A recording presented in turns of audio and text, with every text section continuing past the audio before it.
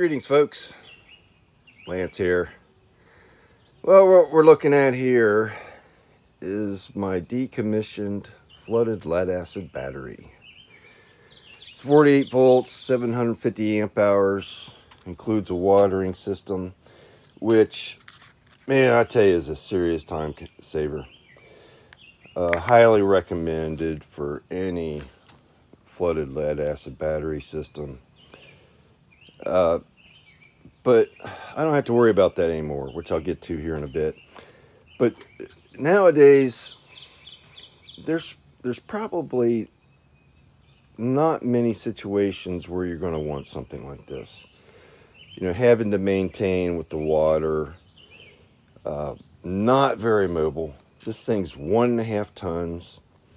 I had to borrow a pallet jack to get it out of the solar shed. And then uh, I'm giving this to my good neighbor Kevin. It still has life in it. Even after nine years, it's warranted for seven. He came over with his tractor and a boom, and it's just too heavy. So we're going to come up with another solution.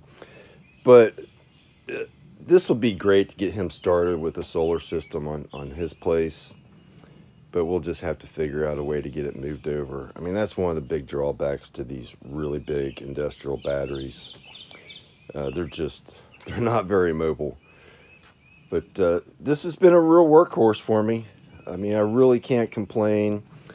But with the new lithium iron phosphate batteries, I mean, I don't have to worry about um, having to water them they're light enough these these racks are on casters. I can move these racks.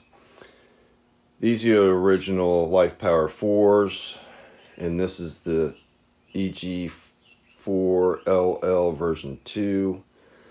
So I can move these around. In fact, I'm going to have to move them around because I have a spot up here where I'm putting in a couple of EG4 inverters. Uh, basically to have fully redundant system. Not that I'm going to run them together, but this is my original Outback Power that I've had for about nine years, maybe going on close to 10 now. But the big challenge is I'm going to have to figure out how to how to do all this. I may have to restring, but my current strings, these charge controllers will only support 150 volts but 80 amps. The new inverters with the built-in charge controllers, I think they support up to 500 volts, but low amperage. So it may be difficult. I'm, I'm still trying to figure this out. I'm not sure how I'm going to do it yet. But we'll cross that bridge one step at a time. But I will be uh, doing additional videos on the EG4 inverters up here. So stay tuned.